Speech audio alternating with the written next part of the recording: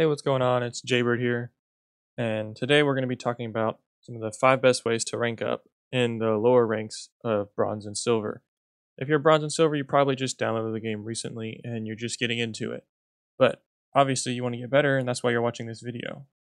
So, my goal today is to help you get out of the ranks within the next few days. So, we have five topics that we'll be talking about and breaking down in depth. Topic one is stop whiffing. Topic two is movement and movement efficiency, being efficient around the field. And then the third topic is teammates and how to trust them and not trust them.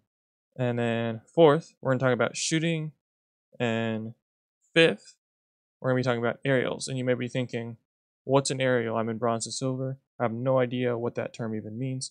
But trust me, you'll know. Trust me. On to topic one the whiff. The whiff plagues all ranks in Rocket League. Not just the lower ranks, it plagues even the highest ranks of Grand Champion. From Bronze to Grand Champion to Supersonic Legend, you'll always be whiffing at some point or another. And one of the easiest ways to fix that is your camera settings.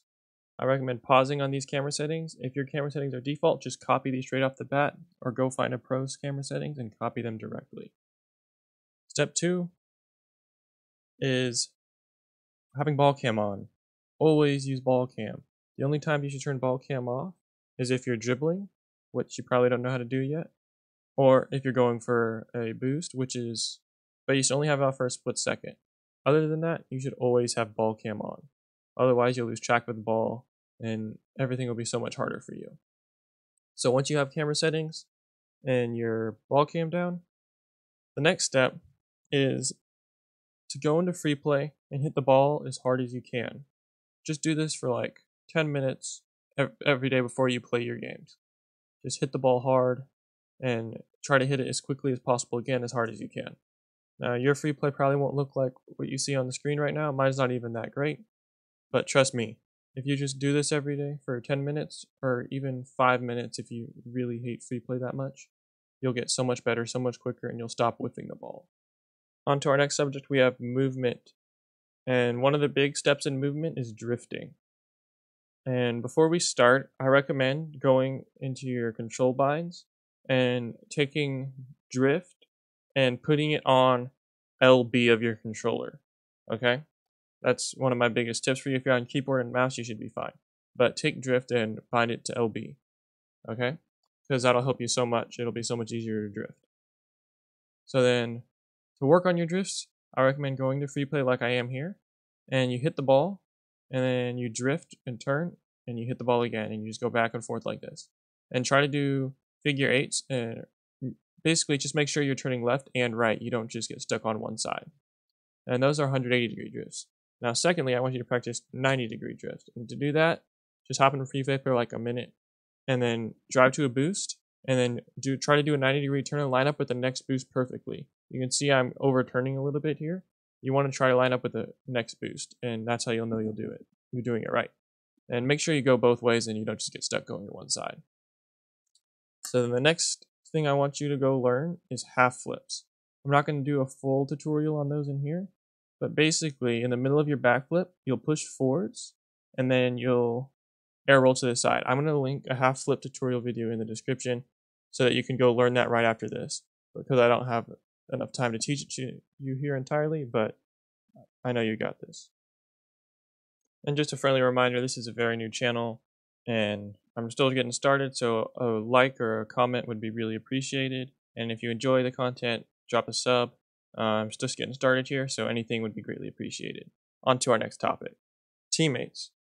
Teammates are very interesting in Rocket League. Makes you happy, makes you mad, mostly mad. But anyways, I have two teammates in this match. I have this guy and I have the other guy. And in this game, I was a bad teammate. So, we're going to be talking about how to deal with teammates, and you're going to see some examples of how not to deal with them by my gameplay.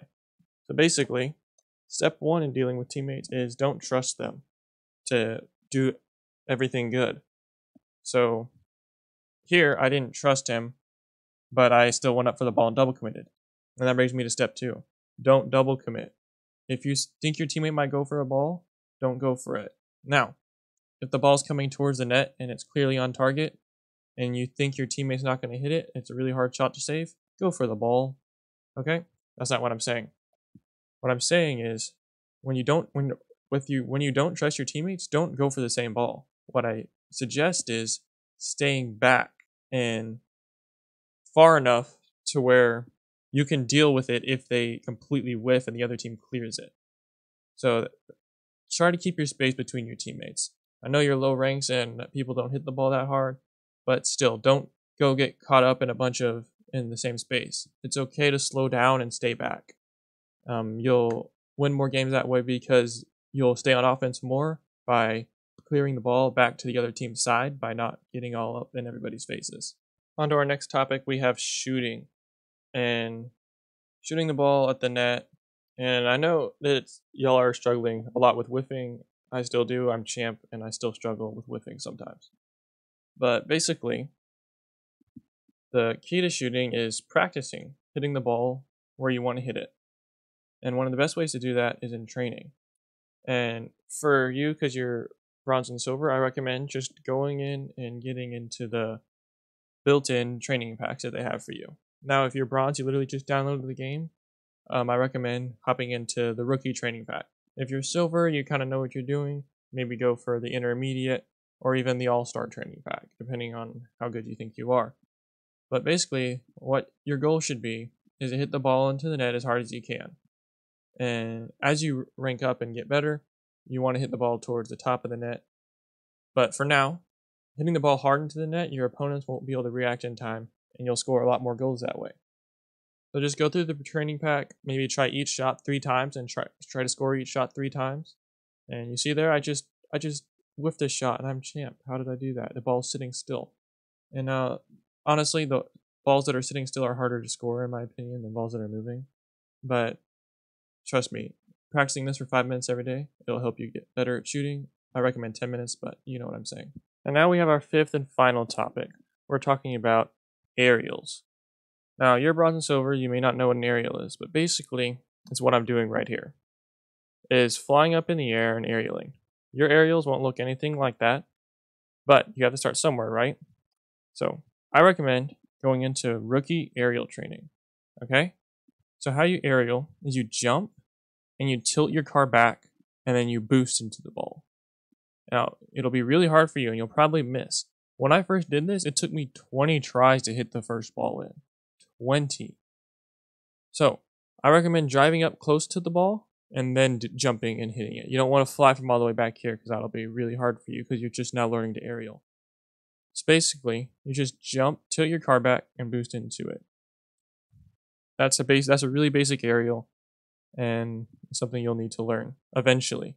Now, most people wouldn't teach you that at this rank, but tr- if you can learn to do this, you'll get from bronze to silver and silver to gold really quickly if you can get good at going up a little bit in the air to hit the ball. And I recommend practicing this for 10 minutes every day.